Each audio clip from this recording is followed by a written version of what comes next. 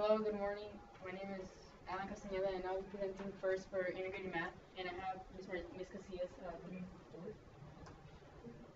Um, first, I'm going to show you my homework completion chart. As you may see, in the beginning of the year, my progress is really good, and towards the middle, I got kind of lazy.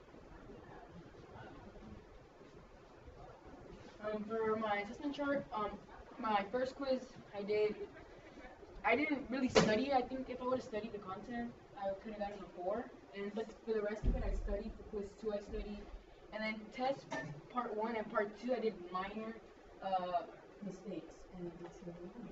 And MI this semester, I think was four. I think I could have done my homework. No, actually, I could have done my homework and turned it in, but I was just too lazy to do it. Because I actually did my homework, but I forgot my homework notebook at home. Because when it came to Mrs. Casillas checking the homework notebooks, I had everything there. And I was presenting essential scale one and learning target two. This is the quiz versus problem. So for the the top one is the quiz, and for the quiz, what I did uh, incorrectly was what I put corresponding angles, which it was incorrect. It was actually vertical angle theorem. And for the test, I just made a minor mistake. I put it was the congruent symbol, when it was actually the equal symbol for supplementary. The equal each other and not congruent to each other. Okay, And for the this is the quiz. For the quiz, I also made a minor mistake. I put uh, angle three is congruent to angle five.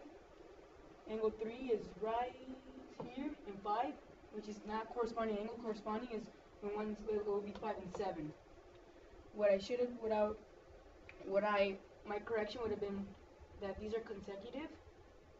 Interior, uh, interior, and then I would have done vertical from there. And then also on my test, I made the symbol mistake. The symbol is supposed to be equal, not uh, congruent. Oh, if I think I deserve a high B overall. I, I know I didn't do my homework, but overall on the test I did really good. And I did all my test corrections, and I checked for understanding Ms. Casillas. And now I'm ready to do my um, chemistry. Um, I have a student for six eight.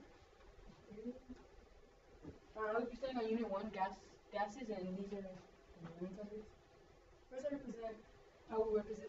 We present one point eight. Uh, the students be able to explain the effects of random molecular motion on molecules in in gases. And what happened here is I rushed the entire test. Um, I think I should have taken my time. The annotating part, I, I think it didn't work for me. Okay. And they, and then that, and then one point B. Um, here is I also I just rushed through it. I didn't read the question correctly. Um, and I think on test now I, I need to slow down a bit instead of going so fast. And I always have a lot of time left in the class. One C, again, I rushed it.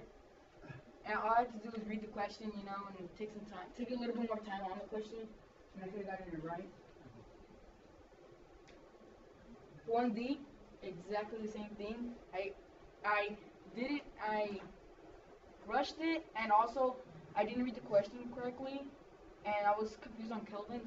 It said it's not uh, subtraction; it's adding 273 to convert it to Kelvin. And one E for here, um, the four properties of gases together is I got incorrect. I should have come into office hours for Mr. Ito. I came some days, but I guess when I once I got here, you know, I was like, I got confused on what to ask Mr. Ito. I asked him on different questions, like on the homework and things like that. Okay. Cool. All right.